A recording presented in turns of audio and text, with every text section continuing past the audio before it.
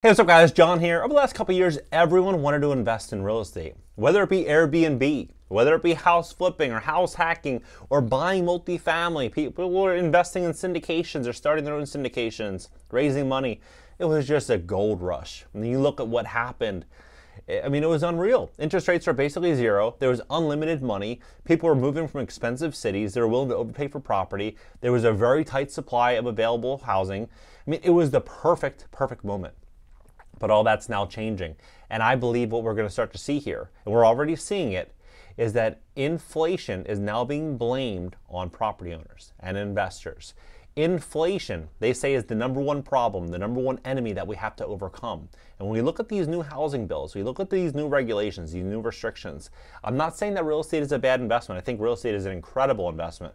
I think it's where most people create their wealth, and it's a great way in which you can provide for yourself and your family for generations to come. But you do have to pay very close attention to what's going on right now. This relationship between property owners, tenants, and government has changed over the last couple years, and it's about to get much, much, much worse. So prepare for this, position yourself for it, and you should be able to weather the storm. Take a look at this. So, for, and first and foremost, hit the like button. Hit the like button. YouTube's going to share the content educate more people that are just simply asleep. And then also, if you want to fix your credit, we'd love to help you at greatcreditfast.com. That's greatcreditfast.com. Now, for people that are not in real estate, how people invest in real estate, multifamily, commercial, they generally buy buildings based on the income, whether it be they're buying it to create value, meaning they want to fix it up and increase the rent, and when they increase the rent, the value is going to increase and they can make you know money that way, or they're going to buy a stabilized asset. Maybe they have a property and they just want to 1031 exchange, meaning they roll the profits from this building, they roll it into a new deal, which is a non-taxable event. They can defer the gains to the future,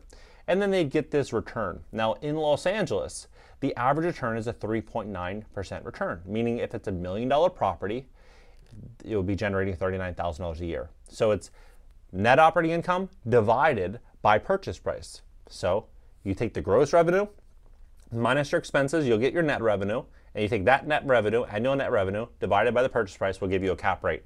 Now, if you're in Santa Monica or Venice Beach or Manhattan one of these areas where it's in high demand, the cap rate, the return is going to be much smaller because you're going to get a very high quality tenant and you have a higher chance of asset appreciation. It's less headache to deal with generally in these prime areas, so you end up getting a less return. But if you go to an area that is full of crime, much risky, much more risky, uh, you're going to get a bigger return, right? You're going to get an 8% or a 9% or a 7% cap rate. So, you know, it, it changes, but that's the overall view. But look at Los Angeles. And of course, that doesn't um, that doesn't factor in for capex or um, any complex uh, equations. It's just a 10,000 foot overview for people that are in real estate. So a 3.9% cap rate, right? Well, rents dropped in Los Angeles 1.6% last year. So you take that into consideration. Rents dropped 1.6%. People are buying 3.9 caps. Uh, mortgage rates jumped from 3% to 7%, like we've discussed. Uh, I'm gonna, I'm gonna get into something big here, but I'm gonna build up this story first. So insurance, insurance in California between 5.6% and 7%. So about 20% bump in insurance cost over the last three years. Now, in California, 1.5 million renters are behind on rent. Big number. Nationwide, it's about 8 million. So, I mean, you're talking about 20% of all renters nationwide are in California that are not paying rent. Now, if you look at what Jerome Powell is saying, if you look at what Biden and everyone's saying, Janet Yellen, they're saying that inflation is the enemy. We need to combat inflation. But they're saying 70% of shelter, of inflation is shelter costs right now. So what are they saying? They're saying that for us to really beat inflation, we need to we really need to hit the source, right? They're not talking about some of these policies that implemented or the way in which they took things the last couple years that are the real reason of inflation. Uh, but they're saying that property owners are. But if you think about this, the more that they push forward on property owners and the more that they go after them, the more power and authority that they have over you and everyone else, right? This is going to be the target the next couple of years, is going to be property owners. Now, this article came up in The Guardian. It says, Return of rent control, how some U.S. cities are trying to keep roofs over people's heads. I mean, these are the cities that they're talking about this right now. It says earlier this year, in response to the city's affordability, affordable housing crisis, Boston City Council voted to introduce measures that would stabilize rents. Now you think about this. How can they stabilize rents if they're going to increase insurance, if they're going to increase property taxes, if they're going to increase the cost of these property owners, and they have more and more tenants that are falling behind on rent. How can they cap their income? Now imagine if you were to go buy a Starbucks a couple years ago when it was five bucks, and now you go in and get it at seven at seven bucks.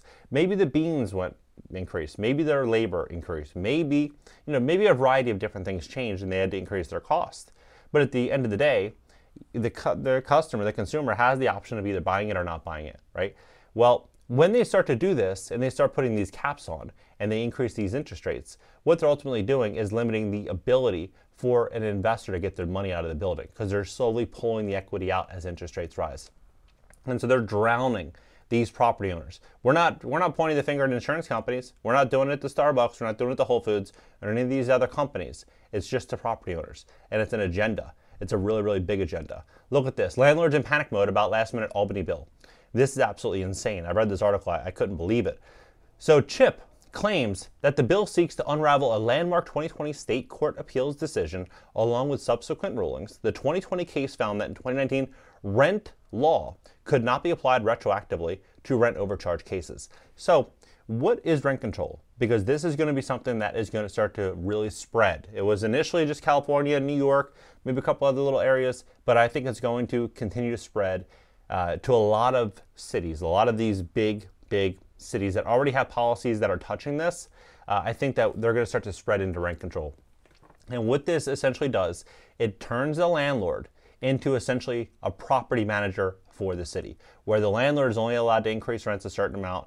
They have to abide by certain laws, they have to abide by certain guidelines by the city, and these guidelines consistently change. So if they have to move into these guidelines, they make the guidelines more and more radical and more and more insane as the years go. Now, what they're saying here in Albany is that it says that it is also determined that if rent owed to tenants in overcharge cases uh, predated to 2019 law can be calculated based on a four-year look back. So they're saying if you increase your rent past a certain point that we deem as predatory, you have a four-year look back period the landlord scheme and saying that you basically illegally scheme to deregulate your units and basically make profit on them. In those cases, if the tenant had evidence of fraud, they could consult rental history beyond the usual four years before the complaint. If it is determined that fraud occurred, the overcharge is calculated using a default formula, which relies on the lowest stabilized rent recovered for comparable apartments rather than determining the base rent of a four year look back period. So then they start to look around in the entire neighborhood they find a apartment, the lowest one, and they say this is where the rent should be, and they look at the spread between what that unit rented for and what they were paying, and then they take this big number and then they put it in front of the landlord to pay it, plus all the fines uh, mandated and issued by the city. Uh, the measure defines fraud as a material breach of any duty to disclose truthfully the rent, regulatory status, or lease information in order to deregulate or unlawfully increase the rent, whether or not the fraud was intentional or regardless of whether a tenant specifically relied on truthful, misleading statements in registrations, leases, or other documents. Now, in Los Angeles, what they were doing before was that a landlord would have to tell the city what they were charging for rent. Now, what the city's doing is actually calling the tenants and verifying how much the tenant's paying and then matching it to what the landlord says that they're generating. So they're really, really, really getting on top of these landlords, getting on top of these property owners. Um, I mean, this is. I'm going to leave this article below because this is uh, this is shocking. This is what they're really pushing forward to, and why they love this so much. Why these uh, tenant advocacy networks love it is because I mean, if you're going to sue somebody, if you're going to pursue somebody, you're going to pursue the ones that have money, right? And it's general knowledge that people that have money own properties. And so these tenant advocacy networks, they go around, they're going to start hunting almost like ambulance chasers on a lot of these property owners. Uh, now, this is Albany. Albany is, you know, obviously much more extreme than a lot of other areas, so I'm not saying this is going to happen everywhere.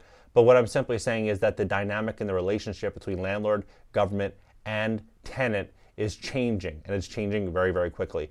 And I think that this is also going to allow an opportunity for these large private equity investors to step forward and to get a piece of this action. Like, for example, Blackstone, one of the largest single family operators in America, the largest commercial real estate owner in America, they just raised this $30 billion uh, real estate fund, $30 billion, $400 million real estate fund, primarily focused on single family houses. Uh, data centers, and hospitality. And the CEO of the real estate division said, We think that there's a real opportunity to deploy more capital. I think the private credit area is a really golden moment because we do see tightening out there for a liquid world of private capital, which provides debt for commercial real estate projects and that of private equity, the recent upheaval of the U.S. regional banking sector and issuing plaguing downturn in office space has sparked questions surrounding the type of, of return CRA, commercial real estate, can generate for investors. So, if you look at this, you have increased insurance costs, increased borrowing costs, increased regulation, and you have a situation in which a lot of people thought that they were they were in the perfect opportunity to pull money out of the properties because of these low interest rates. But now these people are going to have to refinance. And if they're refinancing into a completely different type of uh, valuation on their property, many people might not be able to refi. So I think what we're going to start to see here is an opportunity where private equity is going to step forward and look to seize uh, thousands and thousands and thousands and thousands of properties in nearly every city in America.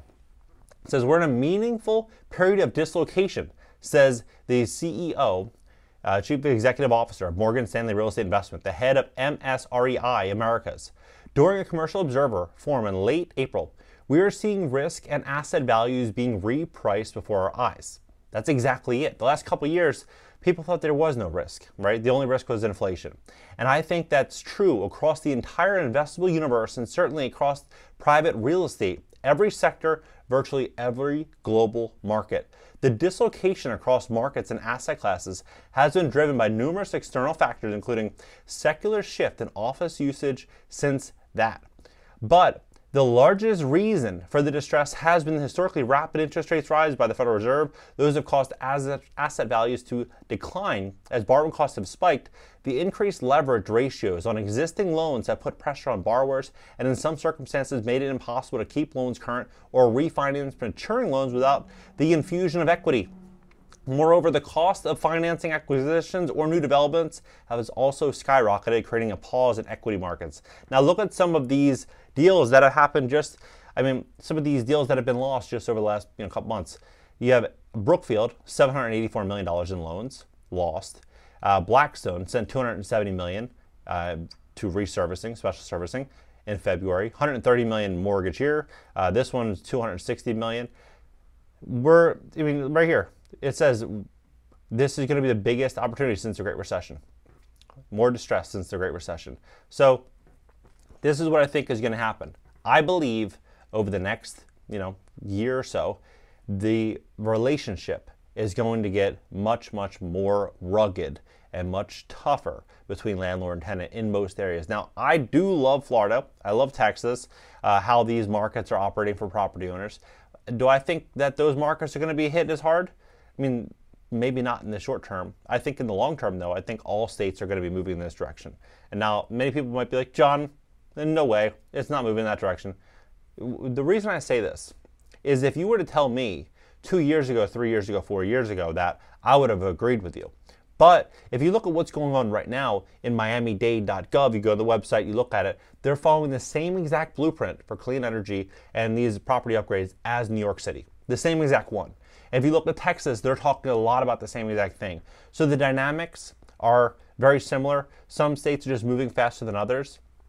I do think there's going to be incredible opportunities to make money in real estate. I just think that you know you got to know your stuff. You got to really follow what's going on. You have to have a really, really good game plan. Pay very, very close attention to what's going out there or going on out there because I do think that we're going to see some really big curveballs come into this market that a lot of people simply would call impossible. But if you look at the last couple years, you probably would have, in 2018, 2019, you would have said the next five years would be impossible. But here we are. I'm telling you, the next three years are going to probably be a hell of a lot crazier than the past three years. What do you think about it? Drop below, hit the like button, subscribe here. Uh, add me on IG for uh, content you're not going to get here, and I respond to DMs over there. And again, if you need help fixing your credit, we'd love to help you at greatcreditfast.com. Catch you guys in the next one.